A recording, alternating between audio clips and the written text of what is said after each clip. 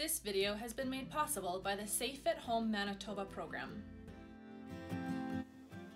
Hi, I'm Rebecca and I'm a registered dietitian. On a bitter, cold Manitoba day, there's nothing quite like a warm and comforting bowl of soup.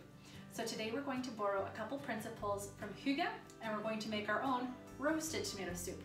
If you've never heard of Hygge before, the best way I can describe it is the Danish art of being cozy, and it's one of the reasons why Danes are among the happiest people in the world, despite having long, cold, and dark winters. So let's get started. For this recipe today, you're gonna need about five tomatoes, four or five cups of cherry tomatoes, and I like to use tomatoes on the vine and Anaxi tomatoes for variety, but Roma tomatoes work great, and you can use whatever tomatoes are your favorites. About five yellow onions, seven to 10 cloves of garlic, a drizzle of olive oil, two cups of milk or cream, depending on your preference, half a cup of Parmesan cheese, about two to three tablespoons of tomato paste, coarse ground sea salt, fresh cracked black pepper, and a handful of fresh basil. You can also take a look at the attached show notes to see a full recipe and a list of all the equipment that you're going to need for this recipe. We're going to preheat our ovens to 400 degrees Fahrenheit. And you can pause the video to gather all of the stuff that you need. All right, if you have everything ready to go, let's get started. So we're going to cut out the stem out of our tomatoes. And if you're missing warm summer days and fresh garden tomatoes, I've got a couple tricks to coax out a little extra flavor out of your grocery store tomatoes. The first trick is making sure that we are storing the tomatoes the right way. We don't want to store them in the fridge because that can zap a little bit of flavor out of them. We actually want to store them either on the counter, but not in direct sunlight, or we can store them in a dry cellar or pantry instead of storing in them in the fridge. The other tip is we're going to roast our tomatoes for this soup rather than adding raw tomatoes and that's gonna help encourage a little extra flavor out of them. Once we're done that, we're just gonna put our tomatoes onto our cookie sheet and I've put a piece of parchment paper down first. Now, if you're tempted to say open a can of tomato soup instead of cook at home and make your own tomato soup because of the cleanup, Putting a piece of parchment paper down first really helps with not having to scrub pans afterwards. So for me, it's definitely worth it to save a little bit of extra effort on the cleanup afterwards. Next, we are going to take the skin off our onions and quarter them. Roasting our onions is gonna help bring out a lot of delicious flavor to add to our soup gonna caramelize the onions and make them a little sweeter. So I'm gonna cut them first and then take the peel off because it's easier to cut them first.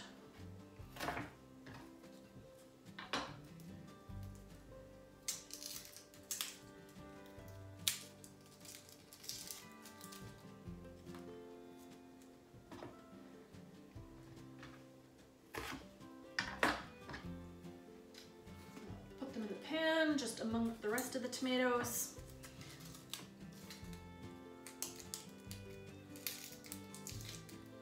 Find it easier to cut the onions first and then peel them.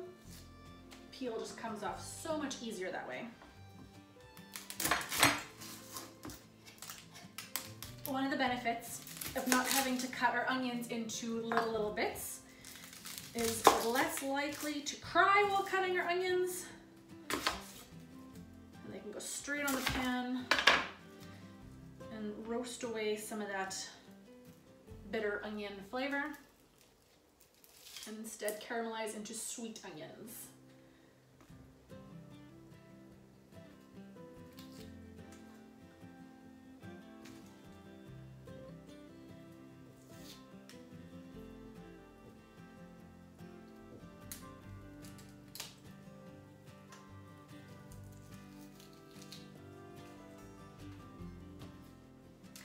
Next, we're going to add our cloves of garlic.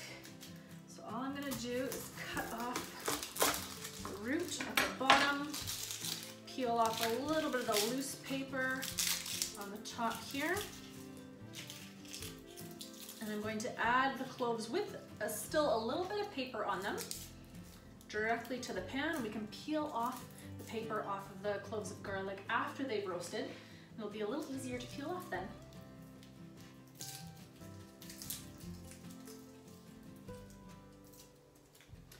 Taking that loose paper out, but any of that paper that wants to stay stuck to the garlic, that's okay, we'll get that later.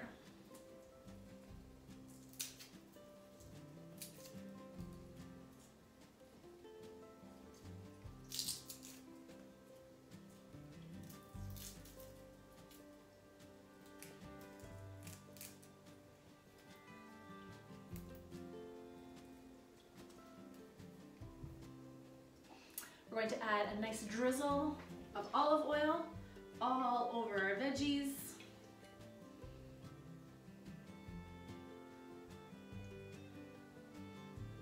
As well as a sprinkle of that coarse ground sea salt.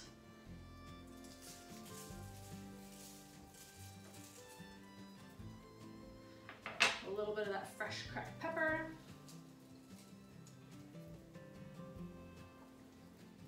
All right, and this is what my tray of vegetables looks like. We're just gonna pop that into the oven. While our vegetables are roasting, I'm gonna recommend that you enjoy the full Hygge experience. So grab a cup of coffee or tea, sit down and read a chapter of a really good book, or maybe play a board game with your kids. And don't forget to light a few candles. While you are enjoying this experience, take some time and enjoy the smell of those delicious vegetables roasting. And I'll see you when they're done.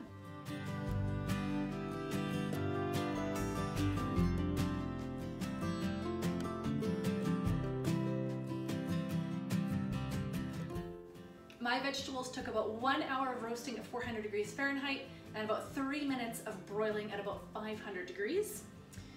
And they turned out beautiful. Hygge isn't just about being cozy and eating good food, it's also about the experience of making food. So I hope that you took the time to enjoy the experience and the smell of those delicious vegetables roasting. You'll know that they're done roasting when there's a little bit of black on top. So we're gonna take a little bit of time to let the vegetables cool, then we're going to remove the really black pieces. We're also going to remove the skins from those pieces of garlic. They should come off really, really easy for you. They're just popping off. Some of them might need a little bit of a squeeze. And make sure you've given your vegetables enough time to cool. If there's any parts that are really black, we can take those off. If it's just a little bit black, we can go ahead and leave it on.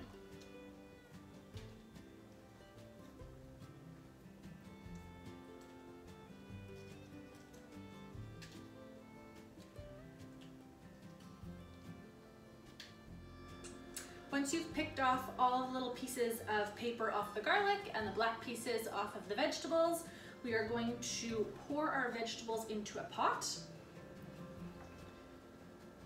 So I'm going to use an Instant Pot, but you don't need one. You can either use a pot on a stove, or if you've let your veggies cool enough, you can actually pour them right into a blender, but only if you've let them cool enough. If they're too warm, while they're mixing in the blender, the heat can make the lid pop right off and make a huge mess in your kitchen. So please don't do that.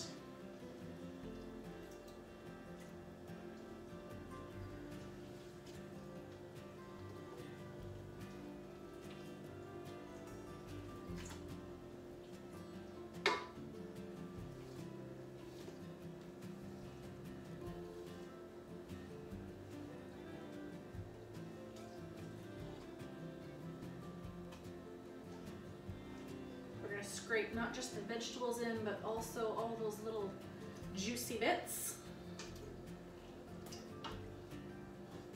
into our pot. There we go. Next, I'm going to add two cups of my milk or cream.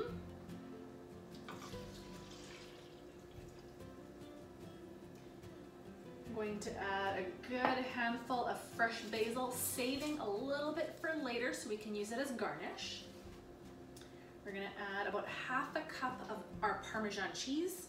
And again, we're gonna save just a little bit for garnish at the end. Going to add my tomato paste. Now I like to freeze my tomato paste in little one tablespoon measurements because I never seem to use an entire can of tomato paste all at once. So I'm gonna add those in as well.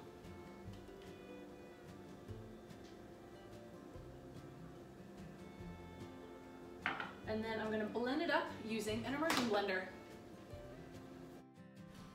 One of the number one reasons why someone does or does not like a food is the texture. So I'd recommend investing a little bit of time into making sure you blend this soup to how you like it. If you like your soup a little on the chunkier side, an immersion blender like mine works great. If you like your soup smooth, like store-bought soup, you might prefer a quality blender to puree your soup instead.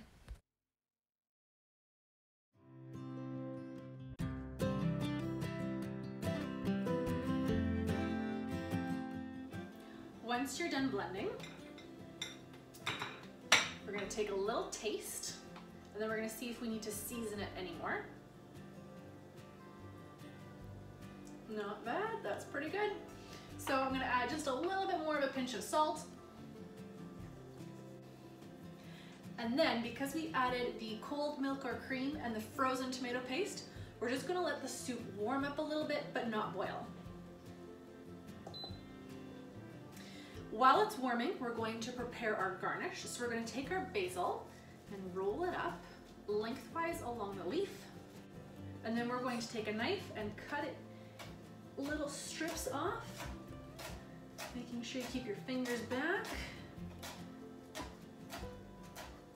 That way, we have nice long pieces of basil that'll look beautiful for a garnish. And we have a little bit of Parmesan cheese left over as well. While this soup is good on its own, it's great when you balance this meal with some smørrebrød. Smørrebrød is a Danish open-faced sandwich on thin rye bread, but I'm gonna use pumpernickel today because it's much easier to find in Manitoba. There's a wide variety of different types of smørrebrød.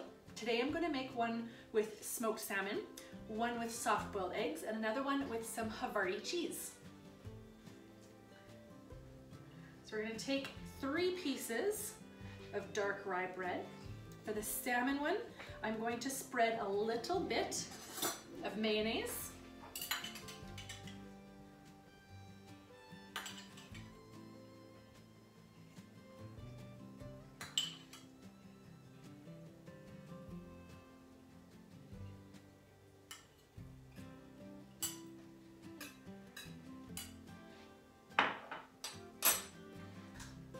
Add a few pieces of cucumber.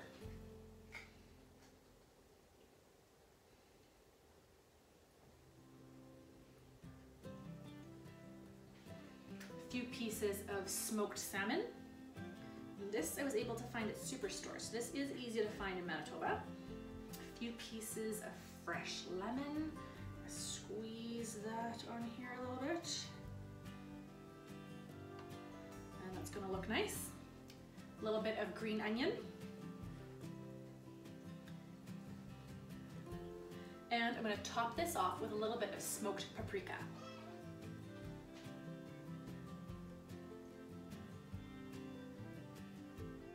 Smørrebrød usually has a thick layer of butter on it, but for the egg one, I'm going to add a little bit of avocado that I've mashed with a squirt of lemon juice.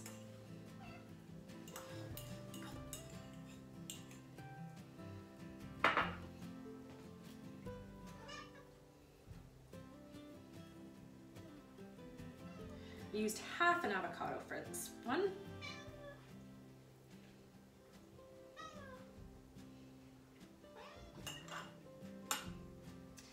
Add soft boiled egg.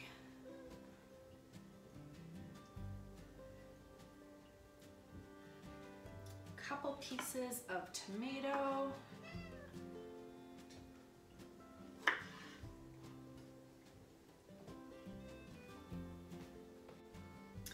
Little bit of green onion. And a little bit of cracked black pepper.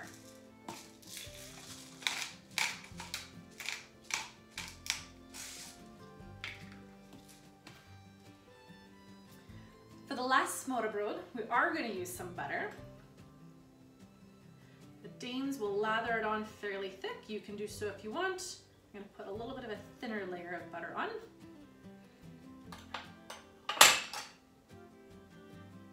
Then we're going to alternate pieces of Havarti cheese with a few pieces of tomato.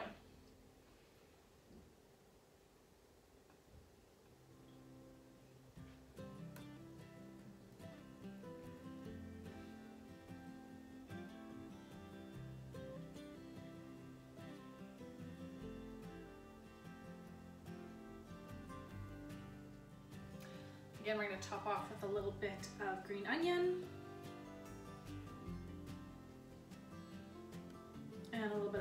This one as well.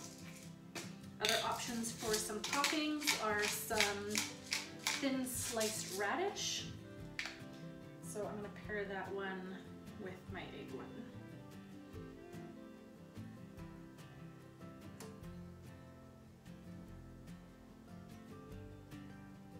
One trick you can do to really take this smørrebrød up a notch is to butter one side of your bread, place it butter side down onto a pan, which is set on medium heat.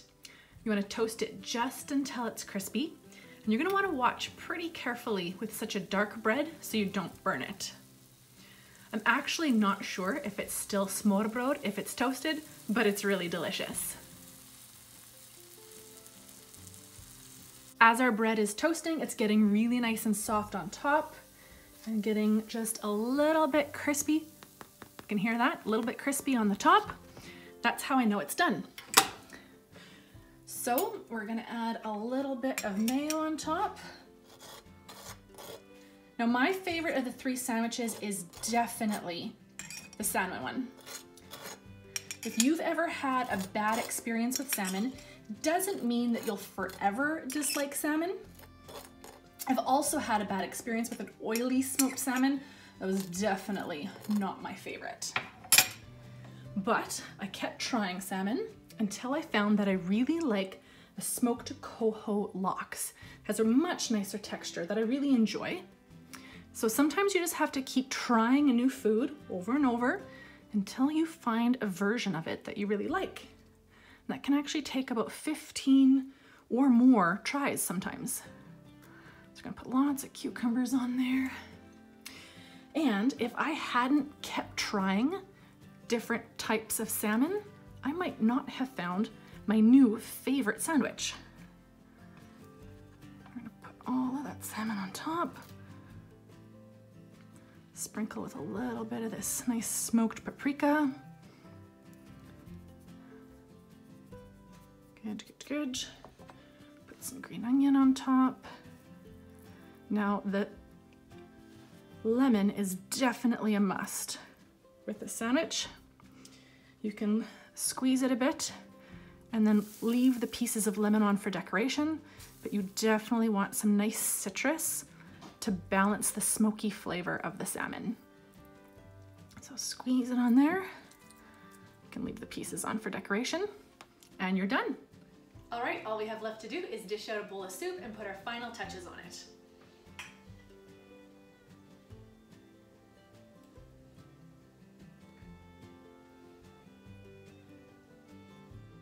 We're gonna sprinkle a last little bit of Parmesan cheese onto our soup, as well as our strips of fresh basil.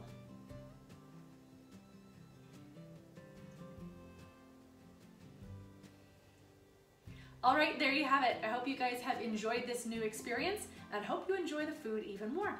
Till next time.